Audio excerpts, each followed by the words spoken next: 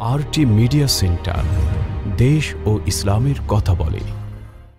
দুনিয়ার স্টার্টিং চইলা গেছে, বেঈমান কাফের মোশরেক ইহুদ নাসারা খ্রিস্টানদের হাতে।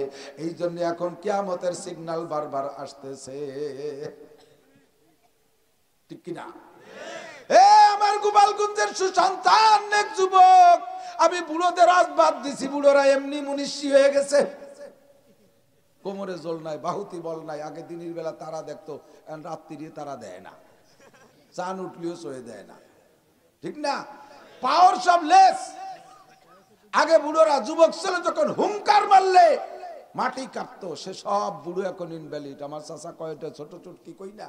একজনে জিজ্ঞেস করছে তোর বাপ যে আগে জন্মের কাছা কাশতো, এই চার দোকানে এসে আমার সাথে কাশিয়ে পাল্লা যেত মাস তিনিক দেই নাকি মরি গেছে নাকি? কয়, না, কাকা, বাইসি আছে। তা বাইসি আছে, তা কি অবস্থা আছে? কাশের কি হয়েছে? কয় কাশ সেরে গেছে। কি খাইয়ে সারলো? কয় কোনো ঔষধি কাজ হয় না। পরে কাশতে কাশতে বল পায় না, সে এমনি ছাড়ান দিছে। বল থাকলে আরও কিছুদিন কাশতো। তো সব বুড়োরা কাস্তি কাস্তি বল পায় না সাড়ান দিছে। এখন আর কেদ্দারি, মাদ্দারি সর্দারি কিচ্ছুই নাই। আশি নব্বই বছরে বুড়োকে এখন আর তবা করা লাগে না। তবা এমনি হয়ে গেছে, চাকা পাংসার হয়ে গেছে, ঠ্যাং একখান কবরে চলে গেছে। কতক্ষণ ঠিক না? কাজে কাজেই তসবি আতে করা ছাড়া উপরে নাই। শেখ সাদির সেই কিসা। সিংহের মতো শক্তি সাহস সব হয়ে গেছে। গত কোনো মতে আজ বেশি আসি ভাই খাকশিয়ালের মতো। সিংহের মতো শক্তি, দাপট সব চলে গেছে।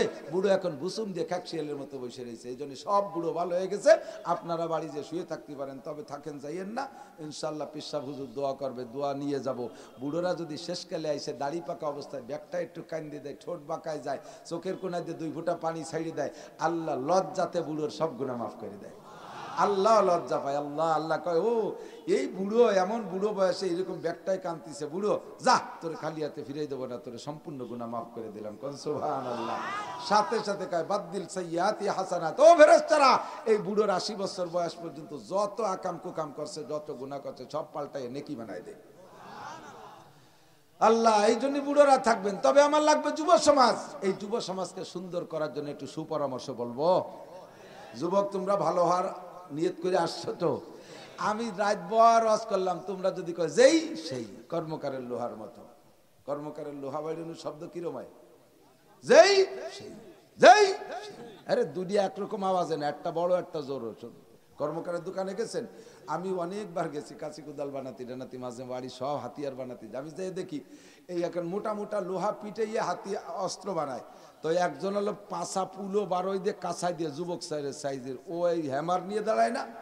আর আসল কর্মকার বসা থাকে ওরাতে ছোট্ট একটা আতুর তাই তো দালানওয়ালা বাড়ি দেয়, জোরে ওইটা হয়, যাই! আর এই বুড়ো যেটা বসাতে ছোট একটা বাড়ি দেয় সেই। দুটো মিলে, যাই! সেই। আমি কদিন দেখছি যে লোহা পিটানোর পরে বড় হয় তো লম্বা হয়, বেরিয়ে যাচ্ছে তো, ওই দাঁড়ানওয়ালার পিটে নেই। তো বুড়ো কুট্টি একটা বাড়ি দেয় কে ওর বাড়িতে তো কিচ্ছু হয় না। পরে কয়েকদিন পর আবিষ্কার করছি যে ওই বুড়োর বাড়িতে লোহা বাড়ানোর জন্য, লম্বা করার জন্য বাড়ি দেয় উনি জায়গা চিনে দেয় এই জায়গা দাও, এই জায়গা দাও, এই জায়গা দাও। বুঝছেন ব্যাপার? ও জায়গা চিনে দেয় যে, ও আর এক জায়গা দিচ্ছে এই জায়গা দাও ওই কুট্টি টুয়াই দিয়ে জায়গা চিনে দেয়। তো দুটো মিলে হয় কি? যেই, সেই, যেই। তার মানে লোহাই কয় কি? তুমি বাইরেও আর যার, আমি লোহা কোনোদিন শোনা হব না। আমি লোহা কোনোদিন পিটাইলে রূপ হব না। আমি লোহা লোহাই থাকব। কাশি হতে পারি, কোদাল হতে পারি, খুন্তা কুড়েল হতে পারি, কিন্তু লোহা শোনা হব না। কতক্ষণ ঠিক না? তুমি যুবক সে তো লোহা বলে তার ওই বক্তব্য, ঠিক আছে, কিন্তু আমরা মুসলমান, আমাদের ইমান আকিদা দিয়ে ওয়াজ নসিহাতের দ্বারা আল্লাহ তালা যে পরিবর্তন ঘটায় পরিবর্তন টুক হতে রাজি আছি না ইনশাআল্লাহ? আল্লাহ আমার দেশের আদর্শ যুবক বানাই দিক, বলেন আমিন। হে আমার সোনালী যুবক, গোপালগঞ্জ চুঙ্গি পাড়ার যুবকরা, এই দেশে বর্তমানে যারা নেতা আছে এই নেতাগুলো একদিন থাকবে না। ওদের ওনাদের স্থানে নেতৃত্ব তোমাদেরই দিতে হবে। কথা বলেন ঠিক না? মাননীয় প্রধানমন্ত্রী একদিন থাকবে না, তার ফ্যামিলির সদস্য একদিন থাকবে না। এই আমাদের এমপি মহোদয় যারা ফজলুল করিম শেখ সেলিম সাহেব একদিন থাকবে না। আজকে যারা সেক্রেটারি সভাপতি পদ নিয়ে আছে, যাদেরকে প্রধানমন্ত্রী যোগ্য মনে করে পদে দিয়েছে ইন্দ্রা একদিন থাকবে না। উন্ডা চলে যাওয়ার পরে স্থানগুলো তোমাদের ধরতে হবে। ইন্দ্রা যেমন আদর্শবান মানুষ, তোমরা এরকম আদর্শবান মানুষে গড়ে উঠতে হবে। তোমরা একদিন মদের বিরুদ্ধে কথা বলবা, তোমরা একদিন নিশার বিরুদ্ধে কথা বলবা। যখন তুমি ওই স্থানে যাবা, দেশকে মাদক মুক্ত করতে চাইবা দেশকে টিপটিচিং মুক্ত করতে চাইবা সুদ মুক্ত ঘুষ মুক্ত করতে চাইবা দুর্নীতি মুক্ত করতে চাইবা, তবে তোমার এই চাওয়াটা ফলপ্রসূ হবে যদি তুমি আজকে নিজে দুর্নীতি মুক্ত থাকো। কথা বলেন ঠিক না? নিজেই যদি দুর্নীতিবাজ হও ওই সমাজে তুমি বলিয়া উড়াইলে তোমার বক্তব্য কেউ শুনবে না। আল্লাহু আকবার। এই জন্য নিজেকে নিজে গড়ে উঠাও। আমার চক্ষু পড়ে, আমার নজর পড়ে যুব সমাজের দিকে। তাই যুবকরা, আলহামদুলিল্লাহ, সারা বাংলাদেশ থেকে আমার ভক্ত। আমি তাদেরকে শক্ত কথা বলি, হাজার শক্ত শক্ত কথা বলি আমার এই যুবকরা আমার ভক্ত হইয়া। হাজার হাজার, লক্ষ লক্ষ যুবক আল্লাহর রহমতে নামাজ পড়তেছে। আল্লাহর রহমতে দাড়ি রাখার সিদ্ধান্ত রেখে বেলাইছে আল্লাহর রহমতে ইসলামী যে পরামর্শগুলো দেয় অনেক যুবকরা ফোন করে করে যে জায়গায় আটকে যায়, আমার কাছ থেকে যাই না নাই। লক্ষ লক্ষ যুবকরা আল্লাহর রহমতে তশকিল কইরা আমি তবলিগে পাঠাইছি, ওলামাই কেরামের সাথে পাঠাইছি। এই যুব সমাজ যদি সুন্দর হয়, তাহলে গোটা বাংলাদেশ সুন্দর কথা বলেন, ঠিক কি ঠিক না? রাস্তাঘাটে গাছ কেটে ফেলাইয়া গাড়ি ট্রাক দিয়ে গাড়ি ডাকাতি করে, আশি নব্বই বছরে বুড়োরা নাই। একমাত্র যুবকরা, মদ খায় যুবকরা, গাঁজা খায় যুবকরা, ফেন্সিডিল যুবকরা, অ্যাবা খায় যুবকরা, ট্যাবলেট খায় যুবকরা, আটা খায় যুবকরা, শুকনো পায়খানা পোড়াইয়া ধুমো খায় যুবকরা। এদানিং শুনতে শুনতে শুনতেছি যে এই সলিউশন খাই বেলাই দিচ্ছে। আমি চিন্তা করলাম যে আল্লাহ, সব সলিউশন ওরা খাই ফেললে ওকে কোন কোনো বাড়িতে তো সলিউশন ফিরে বাইরে হবে না। তাহলে এই টায়ার টিউব সারবো কি দিয়ে? ইতিমধ্যে কয়, হুজুর, খালি সলিউশন না, শুকনো পায়খানা পোড়াইয়া দুমন হচ্ছে, তাতে বলে নিশা হচ্ছে। আল্লাহ একবারে দিক তাকাও। পরের ঘরে সিং কাটে। এ আশি নব্বই বছরে বুড়ো রানা। পরের মেয়েকে মোটর সাইকেলে নিয়ে ভাগা দেয়। আশি নব্বই বছরে পুরোরা নাই, সব কাম যুবকরাই করে। কথা বলেন ঠিক ঠিক না? যত নোংরামি সব করে, খেজুর কি কয়? এই মুরগি চুরিয়ে রেখায় খোপে আগুন ধরাই দেয় বলে চুরিয়ে রেখাইয়া এ কি কোনো নব্বই বছরে, আশি বছরে বুড়োরা এই কাম করে? ইফটিজিং করে যুবকরা, চুরি ডাকাতি করে যুবকরা মদ গাঁজা খায় যুবকরা, অপহরণ করে যুবকরা, ধর্ষণ করে যুবকরা, যত প্রকার অন্যায় করে যুবকরা, বেয়াদবি করে যুবকরা, রাস্তাঘাটে মুরব্বীদের সাথে বেয়াদবি করে যুবকরা মোটর সাইকেলে পাঙ্কুর মতো দৌড়ে বেড়ায় পরের মেয়েকে পিছনে বৈশাইয়ে সব আকাম করে যুবকরা। এই যুব সমাজের বিরুদ্ধে এই জায়গায় বৈশা ওয়াজ করে দোস্ত, ফল হবে কম। এক জায়গায় হাত দিতে হবে, ভালো করে মনে রাখেন। মহিলারা চুলায় রান্না বান্না করে, চুলায় রান্না বান্না করতে করতে সে একেবারে শেষ আইটেমের তরকারি যখন শেষের দিকে চলে আসে, আতের মাসায় তরকারি মানে লাকড়ি তেমন কিছু পাচ্ছে না। একটু যেটু চুলোর ভিতরে আছে, তাতে আবার তরকারি শেষ হবে না। তখন মহিলারা দাইয়ে পায় যা পায় তাই একখান ঠেলিয়ে দেয়। পাইছে ছয়, সাত হাত লম্বা একখান বাঁশ। এই বাঁশ খান ঠেলি দিয়েছে মোহনের এখন বাঁশের হাতখানি পূর্তি পূর্তি তরকারি রান্না শেষ হয়ে গেছে। আর বাকি চুপড়ে কি করবে? তরকারির কড়ই দড়ি নামায় ফেলাইছে। আর ওই অবস্থায় যদি চুলোর মধ্যে বাঁচত চুলো বাঁশের এক মাথা তো রান্নাঘরের বেড়ার সাথে বাঁধানো রয়েছে। তুই টিয়ে যদি চলে যায়, তাহলে ঘর ওপর বেশ বাড়ি ধরে পুড়িয়ে যাবে না। এই আগুন নিবেতে হবে। না, আগুন নিবেনোর দুইটা সিস্টেম একটা হলো বাঁশের মুখ মোহনির ভিতরে, রয়েছে চুলোর ভিতরে। উপর দিয়ে পানি ঢেলে দিলে নিভে যাবে। তাৎক্ষণিক পানি ঢেলে দিলে নিয়ে যাবে। তবে জম করে যদি পানি ঢেলে দেয়, সাইডে ধুমো দিয়ে একটা ভোগলা মারি উঠবে। যদি মহিলা আয় মহিলাকে তাহলে পুড়িয়ে যাবে। উঠে চালেও লেগে যাবে অনেক সময়। নিভে যাবে, তবে কিছুটা ক্ষতি হয়। আর ওই অবস্থায় নিবে যদি চলে যায়, তাহলে ওই বাঁশের মাথায় যে ধুমো আগুন ধুমো আগুন আছে, ওইটা কিছুক্ষণ পরে পানি শুকায় আবার ধীরে ধীরে খেয়ে খেয়ে আগুন জ্বলে উঠতে পারে। সম্ভাবনা থাকে। ঠিক না? মহিলা তো মনে করছে, আগুন নিবেই দিছি, কিন্তু বাঁশের বাঁশ রয়েছে মোহনের ভিতরে। আস্তে আস্তে ওই আগুন আবার বাইয়ে উঠিয়ে ঘর পোড়ায় দিতে পারে। সবচাইতে সুন্দর পদ্ধতি হলো নিবেনুর ওই মোহনিতে বাঁশ খান বের করে বাইরে এক জায়গায় ফেলাই দিয়া। সেই জায়গা নিয়ে পানি দিয়ে তুলি আর চুলোর মধ্যে লাকড়ি না থাকলে আর কোনোদিন জ্বলবে ঠিক কি, ঠিক না? আমরা যেভাবে এই ময়দানে বসে শক্ত কথা যে কিছু কিছু বলি, এলো বালতি বইরে পানি ঢেলে দেয় বালতি ধরে পানি ঢেলে দেয় তাতে কোনো কোনো সময় রিয়াকশনে বুগলা মারি ওঠে, তাতে বক্তারে চিত করে ফেলাই দেয় ঢিলি ঢুলিয়া নিবেতি যাইয়া। সুতরাং পদ্ধতি ওইটার চাইতে এইটাই ভালো হবে যে মোহনির থেকে বাসখান সরাই ফেলি। মোহনিতে বাসখান সরাই ফেলি। সহজে নিবে যাবে, পানি ডালা লাগবে না, ঠিক কি ঠিক না। যুব সমাজকে সুন্দর করার জন্য একটা জায়গায় হাত দিতে। আর মাটা যদি সুন্দর হয় তাহলে আল্লাহর রহমাতে ওর পেটের থেকে প্রোডাক্ট ভালো হবে। সাজ যদি সুন্দর হয় তাহলে পিঠা ভালো হবে। শীতে পিঠে বানানোর কত পদে সাজ আছে না? এরকম গোল গোল ফিটিয়ে, লম্বা লম্বা ফিটিয়ে, আবার কিছু আছে এরকম বেহা খানিকে আর কুড়া এক পাশ গাড়ে বাঁধে আর এক পাশ খাওয়া যায়। এরকম ভ্যারাইটি কেসেবের তাহলে গোল পিঠে বোঝা যায় শ্বাস গোল, লম্বা পিঠে বোঝা যায় শ্বাস লম্বা, পিঠে বাঁকা তাতে বোঝা যায় শ্বাস বাঁকা। ঠিক কি, ঠিক না? এ সব সাচের উপরে নির্ভর করে। তো মা যদি, মা হলো সাসগুলা যেমনই দাও না কেন, গুলা যেমনই দাও সাজ যেমন হবে, পিঠে সেরকম হবে। ঠিক না? তাহলে গুলা দেওয়ার দায়িত্ব পুরুষের কাছে, বাপের কাছে। আর এই সাচ হলো মারা। মা যদি ভালো হয়, ডাই যদি ভালো হয়, তাহলে ইনশাল্লাহ প্রোডাক্ট ভালো হবে, পিঠা ভালো হবে, এমনই আশা করা যায়। ঠিক কি, ঠিক না? তবে উভয়টাই ভালো লাগবে, উভয়টাই ভালো লাগবে। আল্লাহ একবার আমি একবার গিয়েছিলাম কিশোরগঞ্জ তেরো সালে তবলিগে। তবলিগে যাওয়ার পরে ওখান থেকে আমাকে এই তবলিগের এক সাথী ভাই আকিস কোম্পানিতে চাকরি করে, নাম তার শফিক ভাই। উনি বললেন যে, হুজুর, একটা আজীব কারগুজারি শোনাই আপনাকে। ওখানে যেই মসজিদে ছিলাম, পাকুন্দে থানা সদর মসজিদে, ওই মসজিদের ভিতরে এক যুবক আমার সাথে আইসা প্রায় এক ঘণ্টা গল্প করছে। দাড়ি নেই যুবকের, তবে কপালে নামাজের দাগ হয়ে গেছে। এত সুন্দর মার্জিত ভাষায় গল্প করল। গল্পের শেষে এক ঘণ্টা পরে বলতেছে, হুজুর, আমি আল্লাহ পাককে দেখেছি। যেরকম সুহান আমি আল্লাহকে দেখেছি। তার মানে তুমি কীভাবে আল্লাহকে দেখলে? হুজুর, আমি জন্ম বুবা। বুবারা কথা শিখছে, বুবা থাকার পরে, বড় হওয়ার পরে এরকম খুব কমই দেখা যায়। বুবা তো জীবন বুবা। তা আমি বুবা স্কুলে লেখাপড়া করি। হাই স্কুল শেষ করে কলেজে আইয়ে পরীক্ষা দিছি ফাইনাল পরীক্ষা। সে সময় আমি বুবা। পরীক্ষা দিছি, সে সময় আমি বুবা। এরপরে আপনাদের গোপালগঞ্জ থেকে একটা তবলিক জামাত আসছে, মসজিদের ভিতরে বসে তারা বয়ানের পরে তশকিল করতেছে। বুবারা কানে শোনে না, আমিও কানে শুনি না। তো কানে না শোনার ভিতরে ইশারা ইঙ্গিতে আমি তশকিল হয়ে গেলাম এক চিল্লা লিখে দিলাম, লিখতে পারি, লিখে দিলাম। আমি তো কলেজে পড়ি, লিখে দিলাম। এক চিল্লা চলে গেলাম তবলিগলাদের সাথে কাকড়াইল। কাকড়াইল থেকে আমাদের জামাত বন্দি করে পাঠাইলো আমাকে রাজবাড়ি। রাজবাড়ি যাইয়া তেরোটা মসজিদ অতিক্রম করেছি, বারো মসজিদ পর্যন্ত আমার একই অবস্থা। কিচ্ছুই শুনি না, শুধুমাত্র বোকার মতো বৈশা থাকি। তেরোতম মসজিদে যাইয়া প্রথম তিন দিন চলে গেছে আগামীকাল উনচল্লিশতম দিন। পার কইরা আমরা কাকরালির দিকে যাব। রাত্রে মসজিদের মধ্যে শুয়ে আছি। আমি কলেজ স্টুডেন্ট আমি বুবা, আমির সাহুজুর আমার অত্যন্ত ভালোবাসে। সবাই যার যার কায়দায় ঘুমায়, আমির সাপার বিছা, আমার বিছানা এক জায়গা নিয়ে ঘুমাই। রাতের বেলা ঘুমিয়ে আছি। ফজরের সময় যখন মুয়াজ্জিন আজান দিছে, মুয়াজ্জিন আজান দিলে আমার কানে আসছে, আল্লাহু আকবার আল্লাহু আকবার। জোরে না আল্লাহু আকবার। বুবারা কানে শুনে না আমি লেখাপড়া ভিতর দিয়া, লেখালেখির ভিতর দিয়া, পড়াপড়ির ভিতর দিয়ে আজানের জবাব জানতাম। কিন্তু কোনোদিন আজান কানে শুনি নাই তাই আমি আজানের জবাব দিতে পারি নাই। আজকে আমার কানে যখন আল্লাহ আকবরের দনিয়া আসছে তখন আমার বুকটা বড় হয়ে গেছে। যেহেতু আমি শুনতেছি হয়তো বা আমি কইতেও পারব।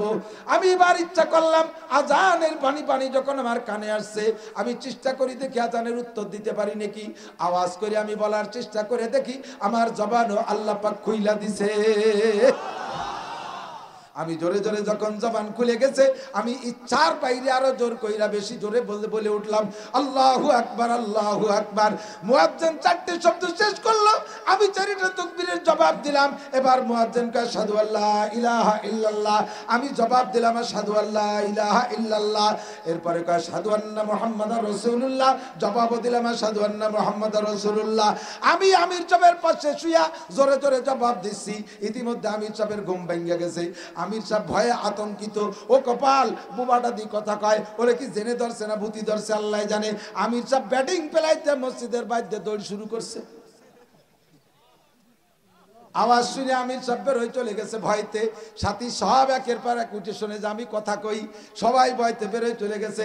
জানে যে বুবা তো কথা কয় না, সম্ভবত ওরে জেনে ধরছে, ওরে ভূতে ধরছে, এই ভয়তে সব বেরোয় চলে গেছে। মুয়াজ্জিন কোনো মতে আজান শেষ করে সেও বেরোয় চলে গেছে। এলাকায় সাড়া পুইরা গেছে, চতুর্দিক দিয়ে স্বর্গ লোক চলে আসছে। এর মধ্যে আমি বেরোইছি, আমি বেরোই বললাম, আমির সাহেব, এদিক আসেন। ডাক দিলাম, সালাম দিয়া। আমি সবাই রেডাইকে বললাম, আমি দুনিয়ার অনেক হাসপাতাল, অনেক ডাক্তার কবিরাজ দেখাইছি। আমার আব্বা শিশু আমাকে শিশুকালের এই কামারা গেছে। আমার আম্মা যান, বাপের সম্পত্তি, মায়ের সম্পত্তি নানি বাড়ির সম্পত্তি, সব আমার চিকিৎসার পিছনে খরচ করিয়া ফেলাইছে। আমার জবান কোনো হাসপাতাল থেকে খুলতে পারে নাই। আমি উনচল্লিশ দিন আল্লাহ পাক রব্বুল আলমিনের হাসপাতালে গড়াগড়ি করেছি। মালিক আমার আজকে রাত্রে নিজ হাতে জবান খুইলা দিছে। হুজুর আল্লাহর কুদরত দেখা মানেই তো আল্লাহকে দেখা। কথা বলেন ঠিক ঠিক না? দর সোখান মুখ ফি মানাম চু বুয়ে গুল, দর বর্গে গুল। হর কে দি দন মাইলে দার, দর সোখান বি নদ মোরা। হর দি দন মাইলে দার, দর সোখান বি নদ মোরা। আল্লাহু আকবার, যদি কে আল্লাহ বলেন, যদি কে আমাকে দেখতে চাও, আমার অন্য কোন জায়গায় নয়। আমি আমার কালামে পাকের মধ্যে, আমার কোরআনের মধ্যে লুকাই আছি। হর কে দি দন মাইলে দার, দর সোখান বি নদ মোরা। ফুলের ভিতরে যেমন সুবাস নাকে আসে কিন্তু কোন পাপড়ি থেকে আসে টের পাওয়া যায় না, ওইটা চোখ দেখা যায় না। তবে গিরান আসে, আমি আল্লাহকে যদি দেখতে চাও, আমার কালাপের কালামে পাকের মধ্যে দেখো, আল্লাহ আকবার, আল্লাহর কুদরতের ভিতরে আল্লাহর আল্লাহ পাক রব্বুল আলমিন লুকায়িত আছে। এই বুবাটা কয় হুজুর, আমি এই জন্য বুঝি যে আমি আল্লাহকে দেখেছি। এক নম্বর কারগুজারি, ওই মসজিদে বসা অবস্থায় ওখান থেকে আর একটা কারগুজারি, ও শুনাইলো, আরও কয়েকজন শুনাইলো। আমাদের কোটালি পাড়ার একটা জামাত ছিল ওই মসজিদে।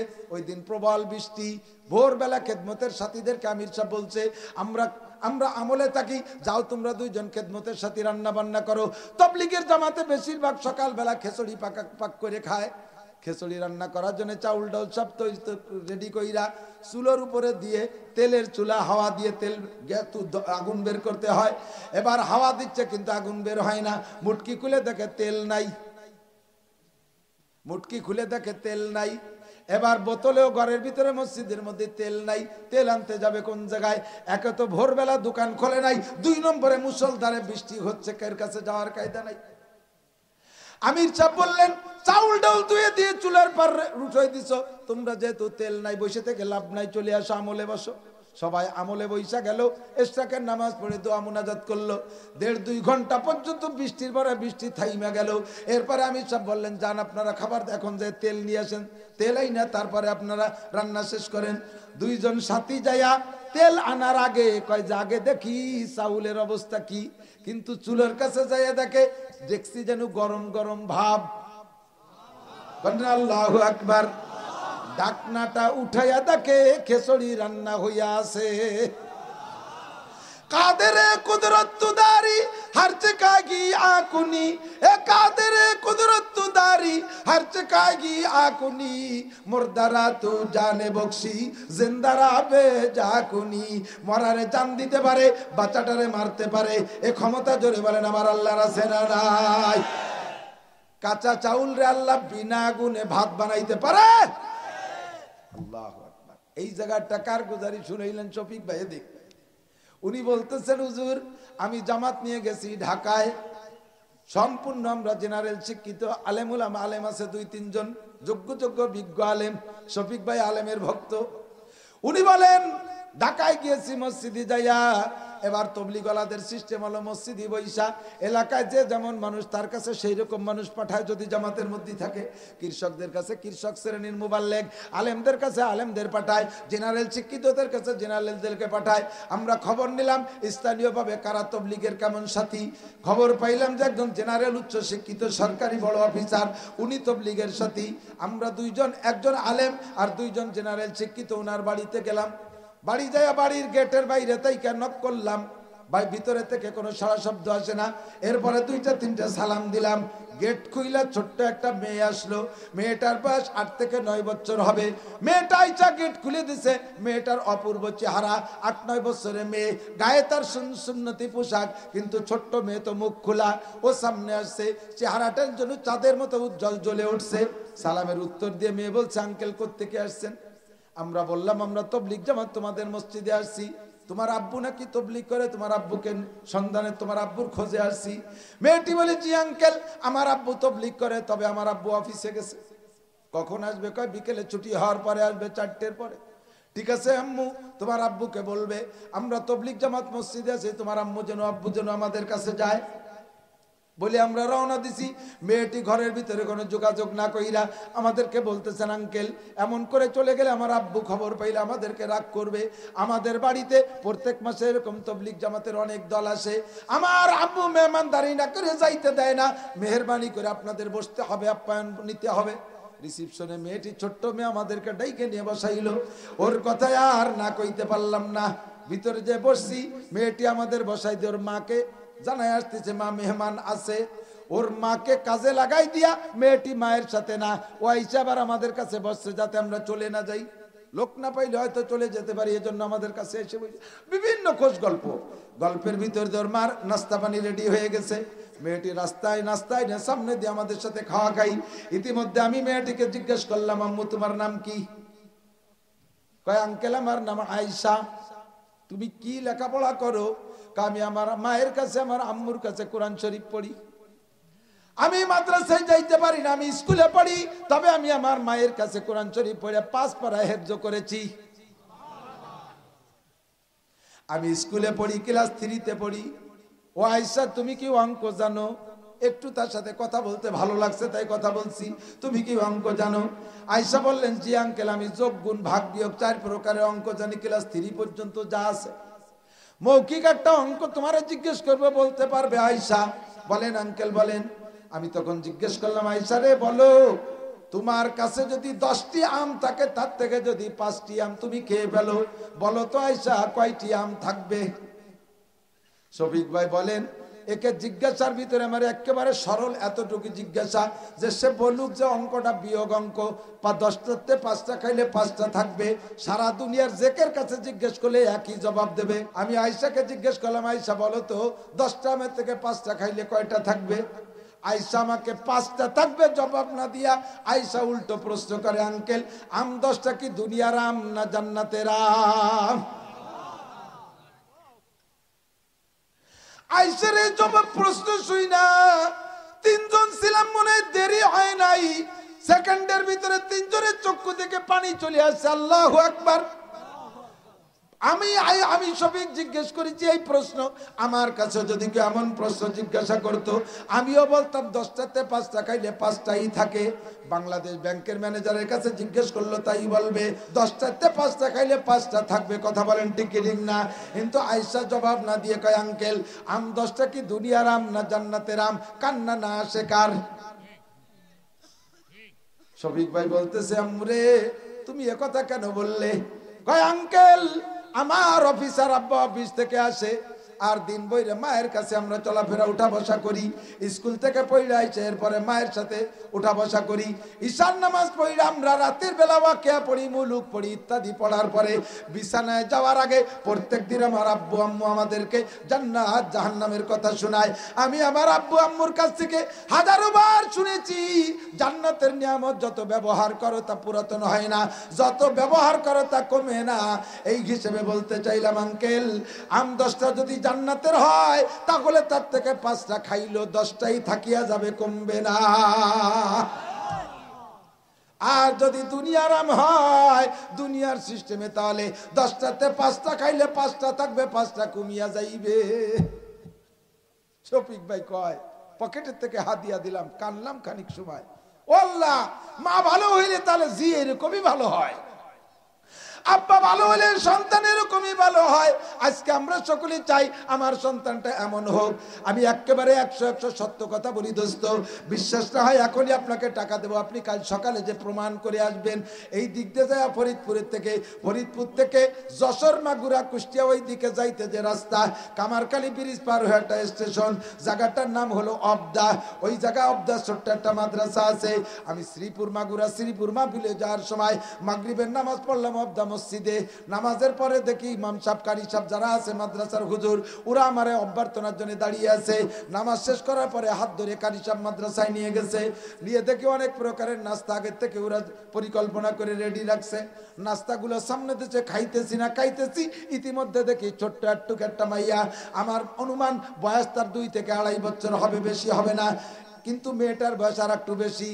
বাড়তি একটু কম একেবারে গোলগাল একটা টেপা টেপা মাইয়া একটা কোরআন শরীফ গলায় নিয়া এমন করে ঝুলতে ঝুলতে আসতেছে। আমি মনে করলাম যে কোরআন শরীফটা মনে হয় আমাকে হাতিয়া দেওয়ার জন্য আনতেছে। ওই মেয়েটার হাতে এতটুকু শক্তি নাই যে সে তার রেহাল কার্ডটাও সাথে আনবে। উস্তাদ, রেহাল কার্ডটা হাতে আইনা আমার সামনে খুলে দিয়া, ওই কোরআন শরীফটা মেয়ে সামনে বৈশা রাখছে। নিজে ছোট্ট ছোট্ট হাত, ইঁদুরির মতো কুটি কুটি হাত, এই যে টুকটুক করে কোরআন শরীফটারে খুলছে। আমি বললাম, কি করবা তুমি কোরআন শরীফ? হুজুর, আমি একটু আপনার কোরআন শরীফ পড়ে শোনাবো। আকবার। আমি বললাম, তোমার আব্বুর নাম কি? ওর আব্বু আমার পাশে বসা কারি সাহেব। হুজুর, আমার মেয়ে। ও কারি সাহেব, এ মেয়ের বয়স কতদিন হয়েছে কয়, হুজুর, আর সাত দিন হলে চার বছর হবে। চার বছর পূর্তি আরও সাত দিন বাকি। এই মেয়ে আমার সামনে কোরআন শরীফ নিয়ে আসছে। এরপরে কয়, হুজুর, আমি একটু কোরআন শরীফ পড়ে শোনাবো। আমি কইলাম, পড়ো তুমি যে জায়গাতে পারো। ও কয়, হুজুর, কোন জায়গাতে পড়ব আপনি বলেন? ধরে কন্যা সুহান আল্লাহ এ মিয়া, তুমিও আব্বা, আমিও আব্বা। তোমার গরু বউ আছে, তোমার সন্তানের মা। আর সে বাড়িও একটা ওই বাচ্চাটারও মা আছে, তারও আব্বা মা। ফাতাবিরু ইয়া উলিল আবসার। বুদ্ধি থাকলে, জ্ঞান থাকলে জায়গা মতো বোঝো। চার বছর পূর্তি সাত দিন বাকি। মেয়েটা আমার কোরআন শরীফ পড়ে শোনাবে। আরও কয়, হুজুর, বলেন কোন জায়গায় দিয়ে পড়বে? বোঝা যায় পুরো কোরআন শরীফের ভিতরে তার দখল আছে। আমি অতর্কিত ভাবে কোরআন শরীফ খুলছি। খোলার সাথে সাথে সুরো আকের শেষ পৃষ্ঠা বের হইছে। মেয়েটা এমন সুন্দর লাহাজায়, হাফেজ আব্দুল হক দামত বরকাতুহুমুল আলিয়া, বাংলাদেশের শ্রেষ্ঠ হাফেজ হাফেজ আব্দুল হক সাহেবের লাহাজায় ওই রকম শুদ্ধতার সাথে শ্বাস আয়াত শেষ করতে পারে না, মাঝে মাঝে থাইমে যায়, আবার নিয়মতান্ত্রিকভাবে ধরে যায়। এমন করে পুরো পৃষ্ঠা শুনাইল, আমি কানতে কানতে আমার বুক ভাইসা গেল। আশেপাশে যারা ছিল সবাই কানতেছে, ছোট্ট বাচ্চার মুখে তেলা শুই না। আমি বললাম, কারি সাহেব পুরো মাদ্রাসা বাদ দিয়ে কি শুধু একটা তোমার মেয়েরই পড়াইছো? যে এতটুকু বয়সে তারা কোরআন শরীফ পড়া শিখাইলা। কারি সাহেবকা হুজুর, মেয়েটা যেদিন কোরআন শরীফ ধরে, ওই দিন শুধু আমি জানছি যে কোরআন শরীফ ধরলো। ওর মা আমারে কয়, বাচ্চাটা কোরআন শরীফ ধরবে, আপনি একটু থাকবেন। আমি তারা নিজে হাতে কোরআন শরীফ ধরাইছি। ওই যোগ্যতা আনতে হুজুর আমার বিন্দু মাত্র সময় দেওয়া লাগে নাই। সম্পূর্ণ পরিশ্রম তার মার। মা যদি ভালো হয়, সন্তান এমন হয়। আমার অজের মধ্যে শুনেছেন, খাজা কুতুবুদ্দিন বক্তিয়ার কাকি, চার বছর বয়সে চোদ্দ পাড়া হাফেজ মঈনুদ্দিন চিস্তি রহমতুল্লাহ আলাইহে দরবারে যে তিলাওয়াত করে শুনাইছে। গল্পটা আমি কিতাবে পড়ে আপনাদেরকে শোনাই। ভিতরে ভিতরে এমন মনে হয়, ওই ওই জামানা মনে হয় চলে গেছে। ওইটা মনে আর কেমন পর্যন্ত আসবে না। আল্লাহু আকবার, সে জামানা কিন্তু এখনও আছে। জোরে বলেন, টিকিটিং না।